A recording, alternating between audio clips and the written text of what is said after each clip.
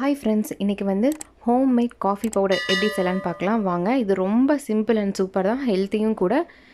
Try பண்ணி பார்த்துட்டு எப்படி இருந்ததுன்னு சொல்லுங்கள் இதுக்கு வந்து வெள்ளை சுண்டல் இருக்குல்லங்க. அது ஒரு கால் கப் எடுத்திருக்கேன். ஊரெல்லாம் வைக்க வேண்டாம். அப்படியே எடுத்துக்கோங்க.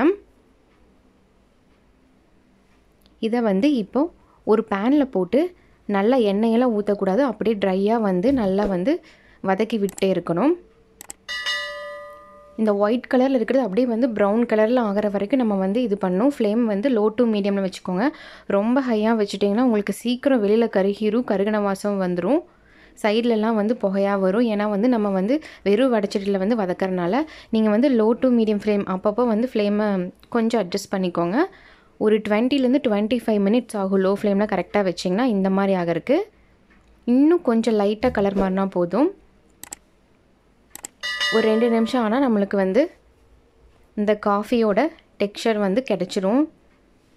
இப்போ பாருங்கள் இந்த அளவுக்கு ஆனதுக்கப்புறம் நம்ம ஸ்டவ் ஆஃப் பண்ணி தனியாக வந்து ஒரு பிளேட்டில் எடுத்து ஆற விட்டுருங்க. நல்லா ஒரு அரை மணி நேரத்துலேருந்து ஒரு மணி நேரம் வரைக்கும் நல்லா ஆறட்டும். வெளியில் வந்து நம்மளுக்கு ஆறியிருந்தாலும் உள்ளே வந்து ஹீட்டாக இருக்கும் அந்த சுண்டலில். அதனால் வந்து கம்ப்ளீட்டாக ஒரு ஒன் ஹவர் ஆற விட்டுருங்க. ஆற விட்டு நம்ம ஒரு மிக்சி ஜாரில் போட்டு நல்லா வந்து ஃபைனாக வந்து ஒரு பவுடரை அரைச்சிக்கலாம். நல்லா நைஸாக அரைக்கணும். இப்போ அரைச்சிட்டோம் பாருங்கள் இந்த மாதிரி வந்து நல்லா வந்து ஃபைனாக அரைச்சிக்கோங்க. அரைச்சிட்டு ஒரு வடிகட்டி வச்சு இந்த பவுடரை வந்து வடிச்சிடலாம். நல்லா சளிச்சு வச்சிட்டோம்னா மேலே ஏதாவது அரைப்படாமல் இருந்தால் கூட தனியாக வந்துடும் இந்த மாதிரி வந்து உங்களுக்கு ஃபைனாக அரையிலனா ஒரு டூ டைம்ஸ் கூட திரும்ப திரும்ப அரைச்சிக்கோங்க.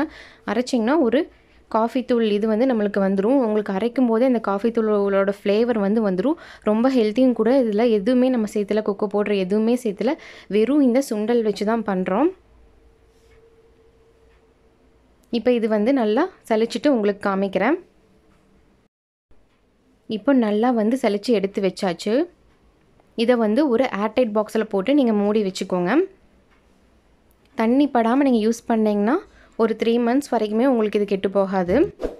ஃப்ரிட்ஜில் வைக்க வேண்டாம். தனியாக வெளில வச்சுருங்க. இப்போ ஒரு இரநூறு கிராம் அளவுக்கு எனக்கு இந்த பவுடர் கிடச்சிருக்கு. காஃபி பவுடர் வேறு எதுவுமே சேர்க்க வேண்டாம்.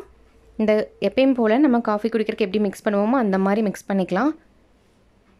ஒரு டேபிள் ஸ்பூன் போட்டுக்கோங்க. நம்ம அரைச்ச காஃபி பவுடர் போட்டுட்டு உங்களுக்கு சர்க்கரை இல்லை நாட்டு சக்கரை எது வேணுமோ அது போட்டுக்கோங்க. நான் இன்றைக்கி வந்து நாட்டு சக்கரை வந்து ரெண்டு டேபிள் ஸ்பூன் போட்டுக்கிறேன். போட்டு பால் காய்ச்சி இதில் ஊதுனே மிக்ஸ் பண்ணோம்னா போதும். நம்ம வந்து வீட்டில் இருக்கிற மிக்சியில் அரைச்சனால கொஞ்சம் வந்து தரு தருன்னு இருக்குது குடிக்கும்போது. நீங்கள் கடையில் கொடுத்து அரைச்சிங்கன்னா வந்து நல்லா ஃபைனாக பவுடர் ஆயிரும். உங்களுக்கு குடிக்கும்போது வந்து அந்த தரு தருன்னு இருக்காது. இல்லைன்னா நீங்கள் இப்படி மிக்ஸ் பண்ணிவிட்டு கூட ஒரு டைம் வந்து வடிகட்டி வச்சு வடிகட்டி குடிச்சிக்கலாம். அப்போ வந்து நம்மளுக்கு அந்த அளவுக்கு தெரியாது. ரொம்ப ஹெல்த்தியும் கூட வீட்டிலே ப்ரிப்பேர் பண்ணுற காஃபி பவுடர் இதை செஞ்சு பார்த்துட்டு ஒரு ஒன் ஆர் டூ டேஸ் குடிச்சு பார்த்தீங்கன்னா உங்களுக்கே தெரியும். உங்கள் ஹெல்த்துக்கு வந்து இந்த காஃபி பவுடர் ஒத்துக்காமல் இருக்குதுன்னா விட்டுருங்க. நீங்கள் குடிக்க வேண்டாம்.